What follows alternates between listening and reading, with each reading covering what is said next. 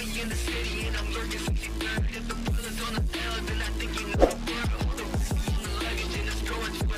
Everybody in the area ain't messing with the herd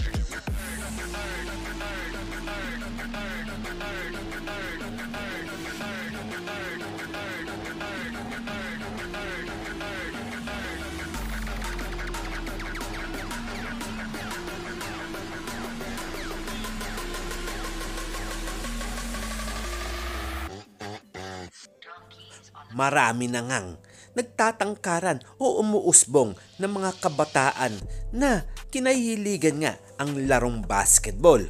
Well mga parkoy, pag-usapan natin ang batang Cebu na si Junmar Fajardo. Well, alam naman natin na naglaro nga ito sa University of Cebu na talagang hindi nga niya aakalain na tatangkad nga siya na 6'10 Well mga parkoy, alam naman natin na si Junmar Fajardo ay eh, nagbigay nga ng kampyonato sa kanyang koponan na SMB o tawagin natin na San Miguel Beerman.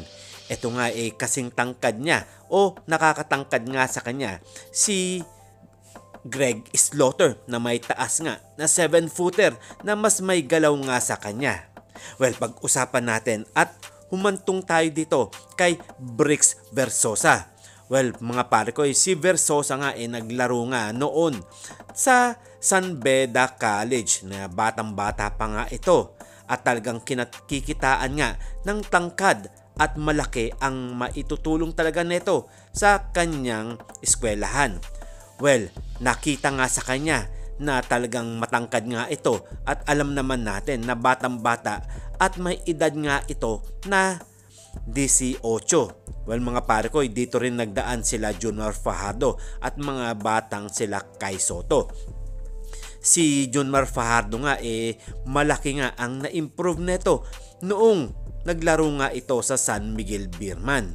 Well, katulad nga ni Versosa o tawagan natin na si Brix Versosa na ngayon nga ay naglalaro nga sa Tigers o tawagin natin na University of Santo Tomas. Well, etong bata na to eh talagang madidevelop at talagang magagamit nga ng mga koponan sa PBA. Alam nyo ba, si Versosa eh pwedeng pwede nga ito pagkaguluhan nga sa Philippine Basketball Association. Well, ang talento nga nito eh baka masayang kung hindi magagamit ng maayos ng Santo Tomas. Well mga parkoy, etong si Versosa eh may taas ng 6'10. Maraming mga kupunan na pwedeng kumuha dito at syempre at sa ibang bansa pwedeng pagkaguluhan to pwedeng maglaro ito sa international. Well, who knows? Hindi natin alam yan. Siyempre, bago maglaro ito sa ibang bansa, eh kukunin muna ito ng koponan sa PBA. Well, kailangan lang talaga na ma-develop ito at gagamitin ito sa Gilas Pilipinas na under 18. Kayo mga parkoy, posible kaya na magamit ito sa Gilas Pilipinas? Hindi magtatagal na taon at gagamitin din ng Pilipinas ito sa kanyang tangkad. Well, mahirap mang isipin eh kung talagang mabibigyan nga ng kupunan ito sa PBA eh maraming lalamunin ito. Hindi natin alam dahil alam naman natin na may taas na 16 to at hindi basta-basta ang galaw nito dahil ma medyo may bilis nga ito na hindi nga katulad nila kay Soto at Junmar saka si Greg Slaughter na medyo mabagal. Well, pag-usapan natin, si Kite Jimenez na na-drop nga ng SMB o San Miguel Beerman.